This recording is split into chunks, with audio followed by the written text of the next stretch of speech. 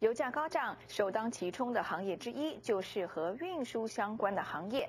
在洛杉矶，华人经营机场接送服务业以及旅行社的巴士团受到高油价的冲击，有没有涨价的打算？而业者又有哪些应对的方法呢？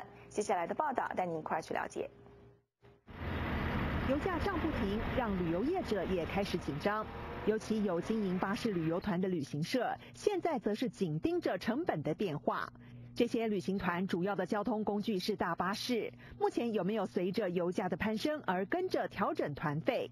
一位华人旅游业者说：“这恐怕是早晚的事。”那目前你再去订的话，我想还没有那么快，但是再过一两个月，我相信都会涨价的。如果这个油价直升而没有下。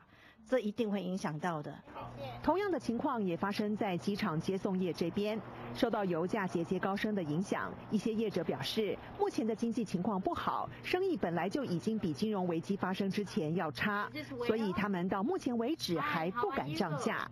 因为呃，现在时机并不是啊，还不是这么好的时机哈。我们想说，这个油价虽然是高涨的话，我们还是会先就是吃下来这个差额啦。我们想维持。继续这个生意量，这个是更重要的事情。不敢涨价，增加的成本怎么办？这家专门提供机场接送服务的公司表示，他们现在是努力扩大客源，不止做华人的生意，也做其他族裔的生意，希望用更大的生意量弥补成本的提高。必要时也考虑把旗下的车辆换成油电车，以节省成本。看来一些和运输相关的业者，许多人还在继续苦撑。不过能撑到何时才会涨价，就要看油价近期内的走势了。